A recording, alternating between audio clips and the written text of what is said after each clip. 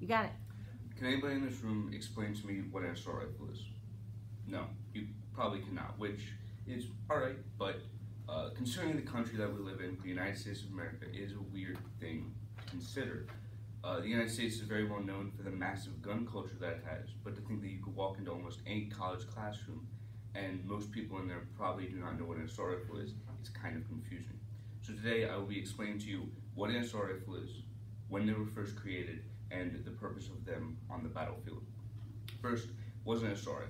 The Merriam-Webster Dictionary defines an rifle as any of those intermediate range magazine-fed military rifles that can be set for automatic or semi-automatic fire. Of course, this is a very wordy definition, and not everybody might know the terminology used. Uh, intermediate is really just referring to anywhere between 100 to 300 meters, uh, and automatic and semi-automatic is a very confused, uh, or very two very confusing terms uh, because they both con contain the word automatic. Automatic fire is really just uh, for as long as you're holding down the trigger on firearm, uh, rounds will continue to be fired until there's no more rounds left in the magazine or on the belt, depending on what type of weapon. Semi-automatic means for every pull of the trigger, only one bullet is fired. Next, when were assault, when were assault rifles created? According to Michael Shurkin, assault rifles were created uh, by the German army during the later half of World War II. It all began with the MP-44, also known as the STG-44, uh, specifically in 1944. Also, Shurkin has stated that Adolf Hitler himself is uh, said to have coined the term STG-44.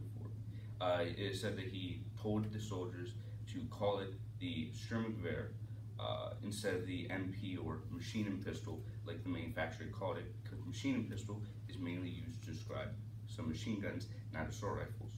Uh, while Sturmgewehr is a combination of two German words, Sturm meaning storm and Gewehr meaning rifle, so mm. it fits better. And finally, uh, why were assault rifles created on for um, why were assault, what was assault rifles' purpose on the battlefield? According to an article by the New York Times, uh, assault rifle was designed to kill as many people as possible. However, you could kind of say that about almost any weapon ever created. That was mainly every weapon's purpose. We have to go a bit more specific. According to an article by Military Review, uh, the U.S. issued the M14 to all of its soldiers uh, during the Korean War and the Vietnam War. Uh, it was a rifle that could reach out to, uh, an automatic rifle that could reach out to ranges of up to 460 meters, and it was made to compete with other rifles. However, soldiers did not like it specifically because of the weight and length of the rifle. It was too long and too heavy to where soldiers complained, and it was difficult to use in the tight jungle conditions. Uh, according to Winning the CQB by Stephen Miller, assault rifles had shorter barrels allowing them to be more maneuverable and easier to use in tight jungle spaces and other conditions, allowing them for whether it be longer ranges or close quarters combat, they're still very effective.